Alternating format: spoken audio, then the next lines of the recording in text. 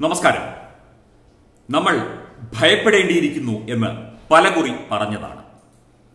നമ്മൾ ഭയപ്പെടേണ്ടിയിരിക്കുന്നു. നമ്മൾ ആശങ്കപ്പെടേണ്ടിയിരിക്കുന്നു. കഴിഞ്ഞ ദിവസങ്ങളായി സ്ഫോടക വസ്തു ശേഖരം പിടികൂടിക്കൊണ്ടിരിക്കുകയാണ് ഭീകരവാദികളിൽ നിന്ന്. കഴിഞ്ഞ ദിവസമാണ് കോഴിക്കോട് തീവണ്ടിയിൽ നിന്ന് തമിഴ്നാട് സ്വദേശിനിയായ രമണി എന്ന സ്ത്രീയിൽ നിന്ന് സ്ഫോടക വസ്തു ശേഖരം പിടികൂടിയത്. ഇന്നിപ്പോൾ പാലക്കാട് പച്ചക്കറി വണ്ടിയിൽ നിന്ന് സ്ഫോടക ശേഖരം പിടികൂടിയിരിക്കുന്നു എന്ന ഞെട്ടിപ്പിക്കുന്ന വാർത്തയാണ് ഇന്ന് പുലർച്ചെ നമുക്ക് കേൾക്കാൻ സാധിക്കുന്നത്.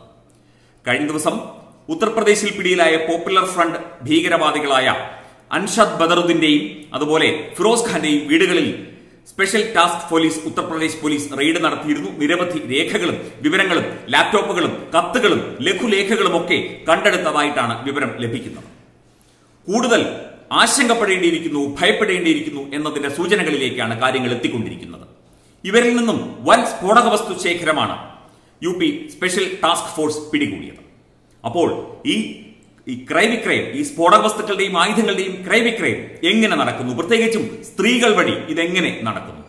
തമിഴ്നാട് കേന്ദ്രീകരിച്ച് നമ്മളൊക്കെ പണ്ടേ പറഞ്ഞിട്ടുണ്ട് തത്വമി അടക്കമുള്ള മാധ്യമങ്ങൾ നേരത്തെ തന്നെ പറഞ്ഞിട്ടുണ്ട് തെക്കേ ഇന്ത്യ കേന്ദ്രീകരിച്ച് തമിഴ്നാട് കർണാടകം കേരളം കേന്ദ്രീകരിച്ച് വലിയ ഒരു ഭീകരവാദ ഭീകരവാദ റാക്കറ്റ് ഇവിടെ പ്രവർത്തിക്കുന്നു എന്നുള്ള കാര്യം മുൻപ് സൂചനകളായി പറഞ്ഞിട്ടുണ്ട്. പ്രത്യേകിച്ചും ഈ മലയോര മേഖലകളും അതുപോലെ കടലോര മേഖലകളും കേന്ദ്രീകരിച്ച് തീവ്രവാദി കേന്ദ്രങ്ങളും അതുപോലെയുള്ള ക്യാമ്പുകളും ഒക്കെ നടന്നതായുള്ള വാർത്തകളും വിശദാംശങ്ങളും ഒക്കെ ഉണ്ട്. ഇവിടെ കേരളത്തിൽ ഒരു ഭീകരവിരുദ്ധ സ്ക്വാഡുണ്ട്. ഭീകരവിരുദ്ധ സ്ക്വാഡിന്റെ പ്രവർത്തനം എങ്ങനെയാണെന്ന് അറിയില്ല. ഇന്നിപ്പോൾ സ്ഫോടക വസ്തുക്കളുമായി പച്ചക്കറി ലോറി. നമ്മൾ പച്ചക്കറി വാങ്ങാനായി ലോറിയിൽ ലോറി വരുന്നത് കാത്ത് ചന്തയിലൊക്കെ നിൽക്കുന്ന ആളുകൾ ഈ പച്ചക്കറി ലോറിയിലാണ് ഒന്നര കോടി രൂപയിലധികം വില വരുന്ന സ്ഫോടക വസ്തു ശേഖരം പിടികൂടിയത്. മണ്ണാർക്കാടാണ് ഈ സംഭവം ഉണ്ടായത് പച്ചക്കറി ലോറിയിൽ ഒളിപ്പിച്ച് കടത്താൻ ശ്രമിച്ച ഇരുന്നൂറ്റി അൻപത് പെട്ടി ജലാറ്റിൻ സ്റ്റിക്കുകളാണ് പിടികൂടിയത്. ഒന്നര കോടി രൂപയാണ് ഇതിന് വില വരുന്നത്. അതേസമയം ഇത് കടത്താൻ ശ്രമിച്ച സേലം ആത്തൂർ സ്വദേശികളായ രണ്ടുപേരെ പോലീസ് അറസ്റ്റ് ചെയ്തതായി സൂചനയുണ്ട്. ഇളവരശൻ കാർത്തി എന്നിവരാണ് സ്ഫോടക വസ്തുക്കളുമായി പിടിയിലായത്. ഇവരെ എക്സൈസ് സംഘം പിടികൂടി പോലീസിന് കൈമാറുകയായിരുന്നു. അപ്പോൾ ഈ തമിഴ്നാട് കേന്ദ്രീകരിച്ച് പ്രവർത്തിക്കുന്ന അൽ ഉമ എന്ന് പറയുന്ന ഒരു തീവ്രവാദ സംഘടനയുണ്ട്. നിരവധി സ്ഫോടനങ്ങളിലും കൊലപാതകങ്ങളിലും അതുപോലെ ഹിന്ദു സംഘടനാ നേതാക്കളെ കൊന്നതിലുമൊക്കെ ഇവർക്ക് പങ്കുണ്ട് എന്നാണ് പറയപ്പെടുന്നത്. കോയമ്പത്തൂർ സ്ഫോടനവുമായി ബന്ധപ്പെട്ടും ഇവർക്ക് പങ്കുണ്ട് എന്ന് പറയപ്പെടുന്നു. എൽ കെ അദ്വാനി കോയമ്പത്തൂർ വന്നപ്പോൾ ഉണ്ടായ സ്ഫോടനം അതുപോലെ നിരവധി കൊലപാതകങ്ങൾ ബോംബ് സ്ഫോടനങ്ങൾ തമിഴ്നാട്ടിലെ ഗ്രാമങ്ങൾ കേന്ദ്രീകരിച്ചുള്ള തീവ്രവാദ പ്രവർത്തനങ്ങളിലൊക്കെ തന്നെ ഈ അൽ ഉമ എന്ന സംഘടന പ്രവർത്തിക്കുന്നതായി അറിയുന്നു. ഇവർ പോപ്പുലർ ഫ്രണ്ടിന്റെയും അതുപോലെ എസ് ഡി പി ഐയുടെയും ഒക്കെ ഒരു പരസ്പരമുള്ള ആ ഒരു സഹായ സഹകരണങ്ങളോടുകൂടി തന്നെയാണ് ഇത്തരം സംഘടനകൾ പ്രവർത്തിക്കുന്നത് എന്ന് വിവിധ അന്വേഷണങ്ങളിൽ തമിഴ്നാട് പോലീസ് കണ്ടെത്തിയിട്ടുണ്ട് എന്നാണ് ലഭിക്കുന്ന സൂചന. അപ്പോൾ ഇത്തരം ഇടപാടുകളും ഇത്തരം സ്ഫോടക വസ്തു ശേഖര കൈമാറ്റങ്ങളും ഒക്കെ നമ്മളെ എത്ര ആശങ്കയിലാക്കുന്നു എന്ന് നമ്മൾ തിരിച്ചറിയേണ്ടതുണ്ട്. കേരള ജനത തിരിച്ചറിയേണ്ടതുണ്ട്.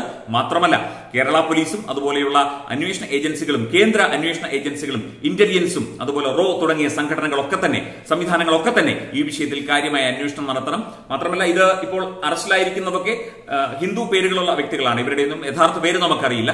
അപ്പോൾ ഈ മത മതതീവ്രവാദത്തിന്റെ വേരുകൾ തേടിപ്പോയാൽ ഇതിന്റെയൊക്കെ കൃത്യമായ കാര്യങ്ങൾ അറിയാൻ സാധിക്കും. കഴിഞ്ഞ ദിവസവും ആലപ്പുഴയിൽ ആർ എസ് എസ് പ്രവർത്തകനെ മതഭീകരവാദികൾ വെട്ടിക്കൊന്നിരുന്നു. തുടർന്ന് നിരവധി ആർ എസ് എസ് സാമുദായിക സംഘടനാ നേതാക്കളുടെയും ഒക്കെ വീടുകൾ ആക്രമിക്കുകയും ബൈക്ക് കത്തിക്കുകയും കടകൾ തല്ലി തകർക്കുകയും ഒക്കെ ചെയ്തിരുന്നു. അതായത് ഒരു ഭീകരവാദം ഇങ്ങനെ പുകഞ്ഞുകൊണ്ടിരിക്കുന്ന ശ്രീ കെ സുരേന്ദ്രൻ പറഞ്ഞതുപോലെ വലിയ ഒരു ബോംബ് ഇങ്ങനെ കത്തിക്കൊണ്ടിരിക്കുന്ന ഒരു അവസ്ഥയിലാണ് ഇപ്പോൾ കേരളം നിൽക്കുന്നത്. വലിയ ഒരു ആശങ്കയിലേക്കാണ് നമ്മൾ പോയിക്കൊണ്ടിരിക്കുന്നത്.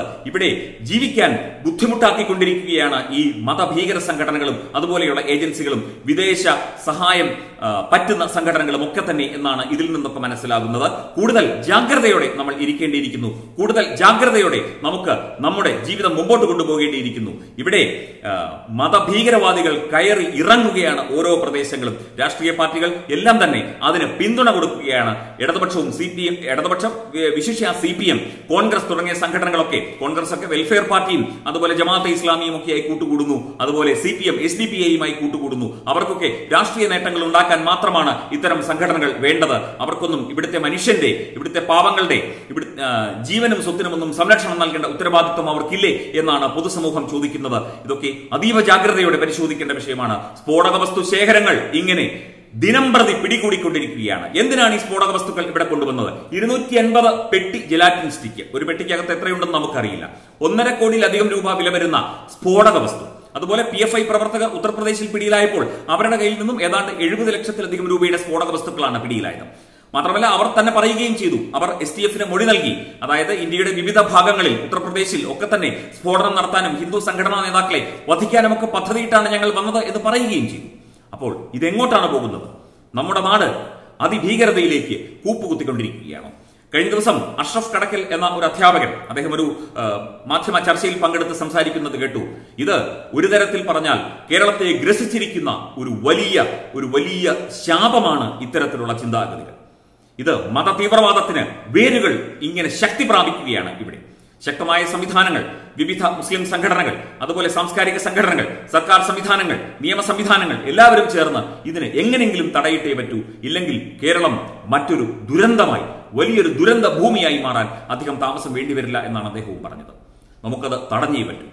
നമ്മൾ ജാഗരൂകരായേ പറ്റും. അന്വേഷണ ഏജൻസികൾ ശക്തരായേ പറ്റും. അന്വേഷണം നടത്തിയേ പറ്റും.